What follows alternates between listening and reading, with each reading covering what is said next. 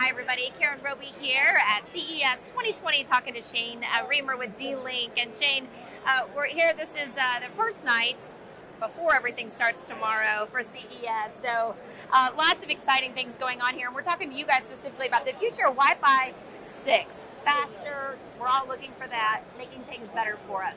Tell us about the device. Yeah, so Wi-Fi 6 is going to be more efficient. You're going to get more throughput. Uh, one of the ways that Wi-Fi 6 is going to be more efficient is that it includes technologies such as OFDMA mm-hmm. and BSS coloring, which will help kind of filter all that traffic you have in your home. Right now, if you live in an apartment complex or an area with 20, 30 different Wi-Fi routers, right. there's all those different Wi-Fi signals going around, and they all kind of get mixed up. And your router's trying to figure out which one's yours.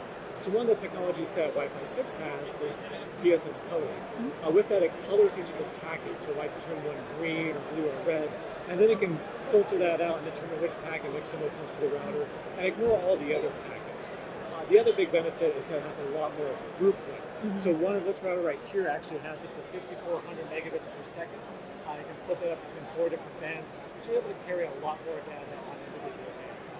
Where do you see it making the biggest difference? I know you mentioned apartment complexes, and, and just when you got, let's say, for instance, a cafe, people go into a cafe to, to you know to do their work while they're sipping on coffee I mean, it will make a big difference in situations like that, do you think? Yeah, absolutely. So if you have a lot of smart home devices at home, uh, what happens is you get a lot of these devices that are waiting in line, almost like this long queue. So something that can handle with faster speeds and get that data processed quicker, you can actually feed through those and, and go through those devices a lot faster than some of your current systems.